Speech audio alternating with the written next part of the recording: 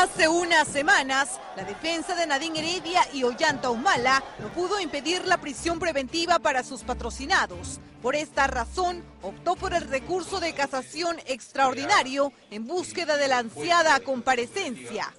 Justamente la segunda sala penal de apelaciones presidida por el cuestionado César Zaguanay admitió a trámite el pedido que será revisado por la Corte Suprema.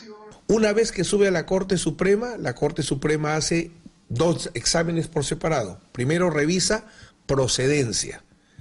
Este caso tiene temas que justifican un desarrollo jurisprudencial, justifican crear una nueva línea de jurisprudencia, por ejemplo, ¿hay claridad o no hay claridad sobre los criterios para cambiar de comparecencia a prisión preventiva? Si dice no, lo rechaza. Si dice sí, lo declara por bien concedido y pasa al tercer filtro, que es el filtro de fondo de mérito.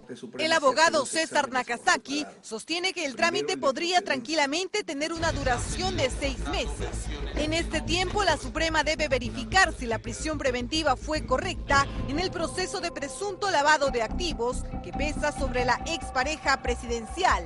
Como regla general, la Corte Suprema no ve los temas de prisión preventiva.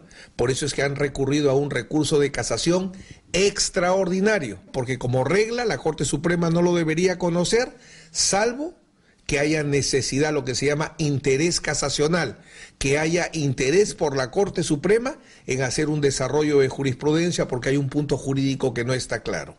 La Castaqui le restó valor a los pedidos de habeas corpus en Arequipa y Piura, presentados en las últimas horas a favor de Nadine Heredia y Ollanta Humala. Creo que si se trata de gente del Partido Nacionalista que está luchando por su líder, primero no lo está ayudando. Pienso que se van a rechazar los habeas corpus, no tengo ninguna duda. Si en algún momento el caso del presidente Humala y su esposa tiene que ir al Tribunal Constitucional, tiene que ser con un habeas corpus con nombre y apellido debidamente firmado y en el lugar que corresponde.